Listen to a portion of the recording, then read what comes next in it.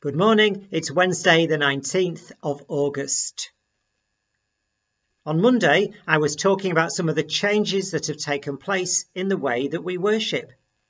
There are new rules governing the different aspects of the things that we normally do when we gather in church. Included in these are ways in which we can safely share communion, opportunities to still break bread and remember that special meal that Jesus shared with his friends around a table.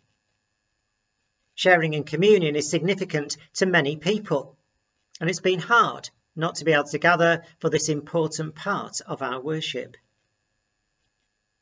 Initially, in our churches, we're not planning to have communion. It seemed important to get settled back into our pattern of being in church.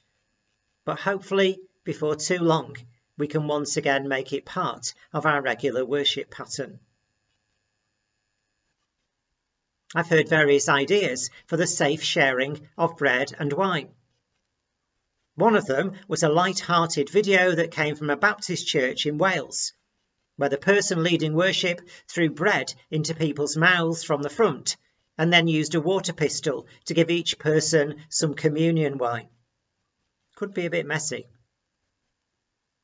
Another is from an online company who are producing sealed packs which contain both a communion wafer and a little cup of wine that can be put out in church prior to people coming in. Not sure I like the idea of shrink wrapped communion, bit too much plastic. Then there's my favourite idea that comes from the Reverend Eileen Harrop in County Durham. She was brought up in Singapore and she's using extra long chopsticks to share the communion bread with people. She says, administering the communion in this way ensures there's no cross contamination and my parishioners feel reassured and confident to take part. We have yet to decide how we'll share communion once it again becomes part of our worship. We'll have to think about how we ensure people's safety but still recognise the significance of this special meal. I do value communion. I look forward to be able to share in it once again.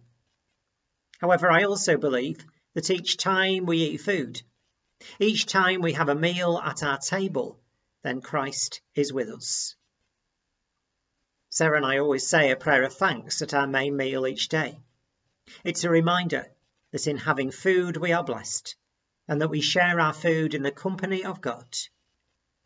We don't have to wait until we share bread and wine in church to have a special meal in God's presence. I'm not sure that I'll be using chopsticks to give out communion bread. Could be very chaotic. But I like another comment from the Reverend Eileen Harrop. She says, It's rather special that the long chopsticks I use are normally used for the festive occasion lo hei, meaning stir the uplifted bread of life. May the breath of life be with you today. And when you eat, may you know yourselves in the presence of our living God. Let's pray. Living God, when we eat today, may we do so in thankfulness for the food we have May we do so in prayerfulness for those who go hungry today. And may we do so knowing your presence with us in each meal that we eat. Amen.